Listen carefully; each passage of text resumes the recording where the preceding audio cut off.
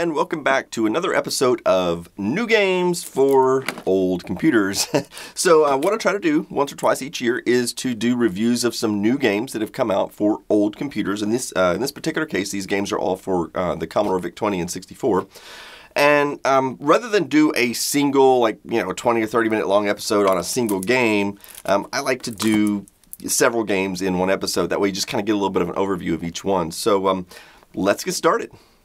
These are some of the games I'm going to be showing you today. We've got L'Abbaye des Morts for the Commodore 64, uh, Fire for the Commodore VIC-20, Realms of Quest 5 for the VIC-20, and Man Cave for the C64. Let's take a look at Realms of Quest 5. I was particularly interested in this one because uh, I was always a big fan of the Ultima series on the Commodore 64, and there was never really any sort of complex role-playing game like this for the VIC-20. Sure, there was a cartridge version of Ultima Escape from Mount Drash, but uh, this game was very simplistic, and to be honest, I never really found it entertaining. Ultima gave you a whole world to explore and uh, increasingly difficult battles to fight, and I suspect the reason the VIC-20 never got any games like this is due to the need for more RAM. With 5K of built-in RAM, these sort of games just wouldn't be possible. And since no game developer uh, dared to write a game for the VIC-20 requiring a 32K RAM expander, uh, we just would never see this sort of game done. Until now, of course.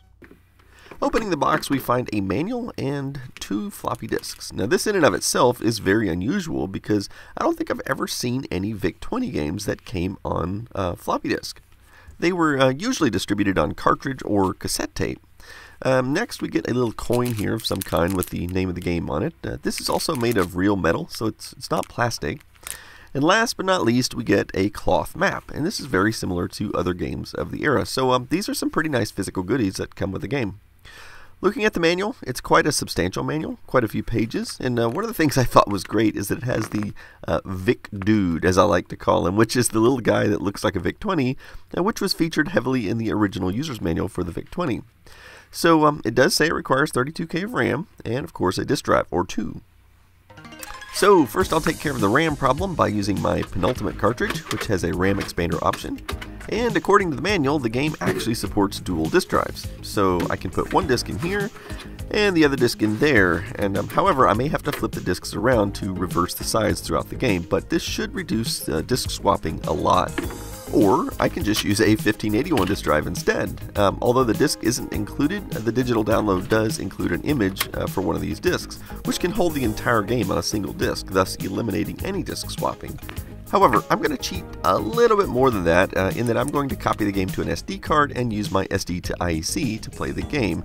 This is a modern device that plugs into the disk drive port and it also gets its 5 volts power from the cassette port, so I'll plug that in too.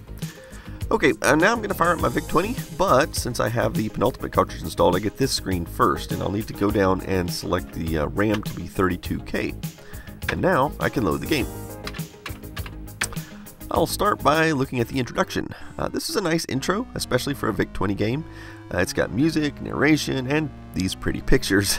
and uh, these intro pictures are actually pretty cool. Uh, the truth is, VIC-20 games never included full-screen artwork like this. The main reason for that is a full screen of graphics consumes more RAM than the VIC-20 even comes with from the factory. So without a RAM expander, this sort of thing just wasn't possible. Okay, so um, there are some other things on the main menu, um, like the Book of Beasts, so let's have a look. So what this does is give you a list of all of the monsters you might encounter in the game, and um, lets you view information about them. And dang, there are a lot of them here. Um, I'll just have to pick one. Um, here's Ghost. So it tells you a little bit of information about the ghost, and after a moment it'll show you a low resolution picture of one. And uh, I'll pick another one. Here's Gnome. Okay, uh, let's take a look at the settings menu. Uh, so you can change the game speed between fast, slow, or medium, and you can turn the music on or off. And uh, you can select the tiles to be multicolor or high res. Then another interesting feature is font. You can select multiple different fonts to use. Um, this one is probably the easiest to read, but not the coolest to look at. So uh, yeah, we'll leave it on Realms font. And um, then you can select one or two disk drives, but uh, this doesn't apply here since I'm using the SD card version. So, much like any role-playing game, you do have to create several characters. It looks like you can create up to 10, and uh, with each character you can pick all these various things, and then as to be expected, you start with a certain amount of gold, and then you have to buy some weapons. And now we're off to explore. The actual playfield area looks very small, however it is 11 by 11 tiles, which is the exact same as Ultima, uh, the only difference is the tiles are much smaller, and I suspect this was done to make room on the screen for all of this uh, other information, uh, being the VIC-20 text mode is only 22 columns.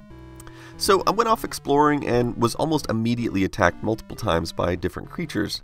And to be honest, I didn't really know what I was doing as this game is surprisingly complex, and uh, I also must admit being a little disappointed that you don't really get to see the battle from a top-down scene. In Ultima, I could always see exactly who and how many I was fighting, and I could plan my attacks more carefully. Uh, this seemed to leave a lot up to the imagination. In fact, several of my party died pretty quickly before I was even able to find another town to visit.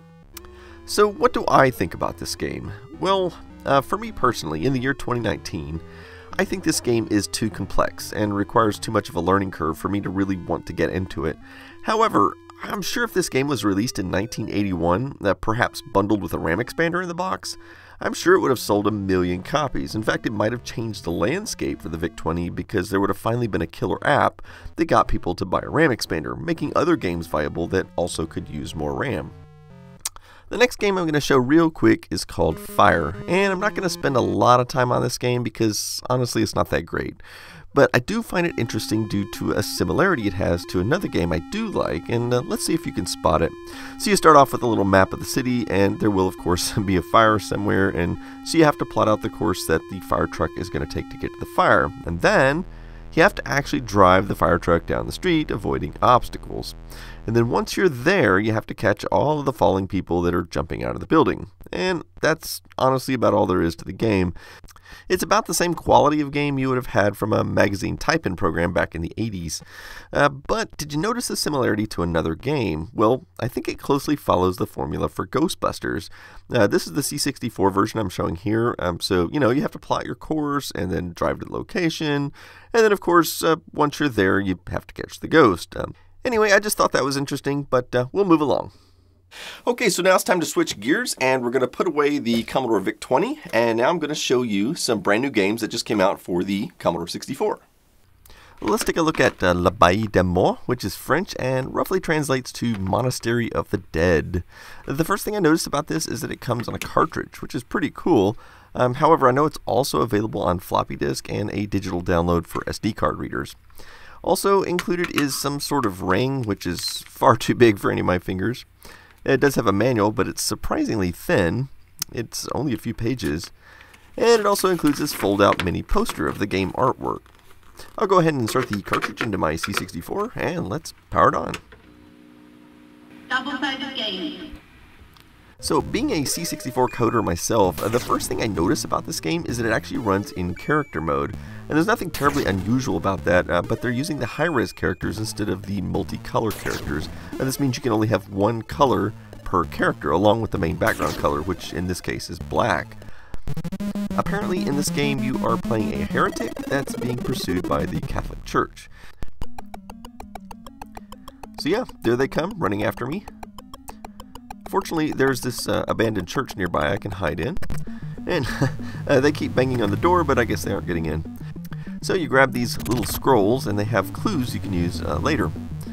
Uh, this is where I'm really just stunned by the work they've done on the graphics. Uh, each room is like a work of art, and I know firsthand how difficult it is to make nice looking artwork in high-res character mode, uh, since that's what I use for Planet X2. Besides the graphics, the music and sound effects are surprisingly good. I also noticed the music changes depending upon what room you're in. Uh, for example, when you look out the window. This is a really cool scene here. I just love this. I also like how every room has a name, which is displayed on the bottom right of the screen. I don't know if I've seen that before. You know what this game uh, reminds me a lot of?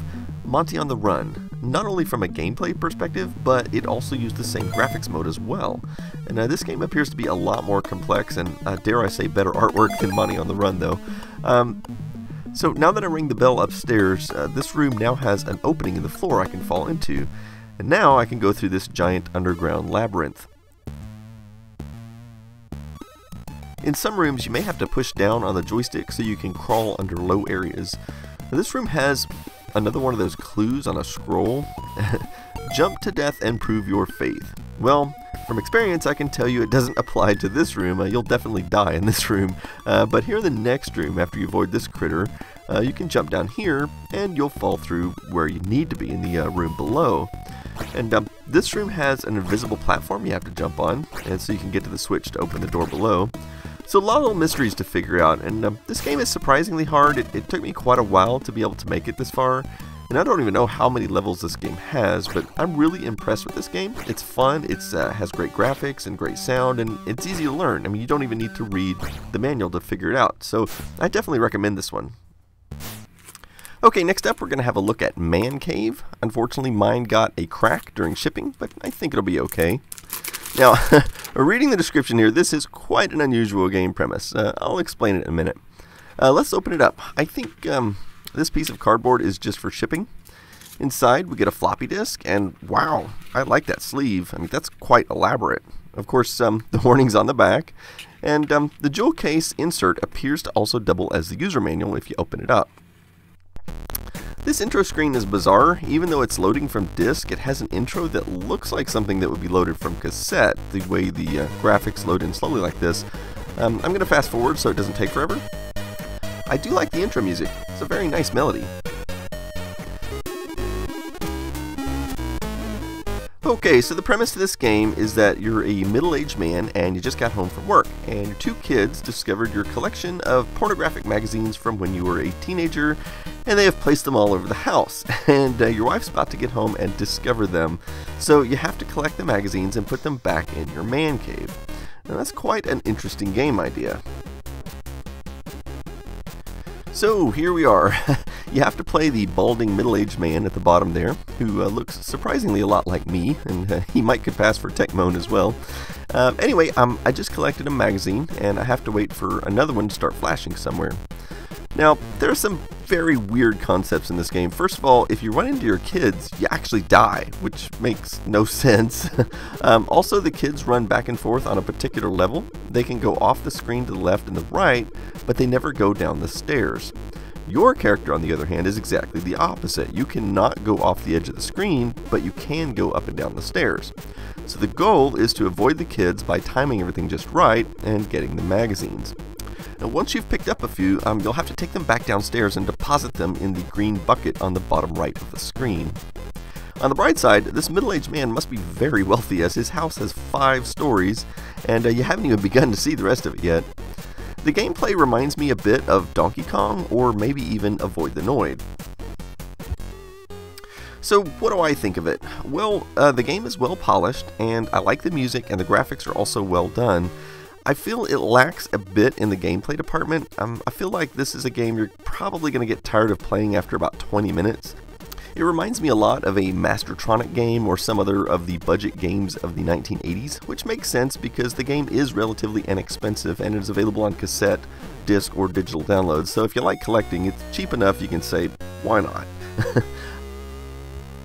One last little thing about it here, um, I like the Hall of Fame setup. It's uh, a wheel of letters you rotate to pick your initials. And uh, let's see where I end up. Looks like I am taking the uh, number 8 and 9 spot. Um, I have ways to go to work my way up the list. Anyway, I have one more surprise bonus game to show here. Double-sided game. So yeah, this is called Vegetables, and uh, I just got this a few days ago as digital download, so I don't have a box to show you. I love the intro artwork and the music.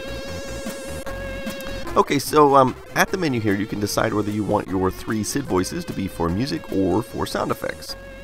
This first round, I'll do sound effects. So this is your basic match 3 game, similar to Bejeweled or Candy Crush. I think everyone knows how to play these. Uh, for joystick implementation, uh, you just select the one you want to move, hold the button down, and pick which direction you want it to go. It's actually pretty fun, and the learning curve is very short, and you can get right into this game quickly. And uh, if you get stuck, it will give you hints as to what to move next. I'll start it over, and we'll um, try using in-game music instead. So yeah, I actually, um, I think I prefer the music over the sound effects. So uh, much like Tetris, this is a good game if you just want to relax and veg.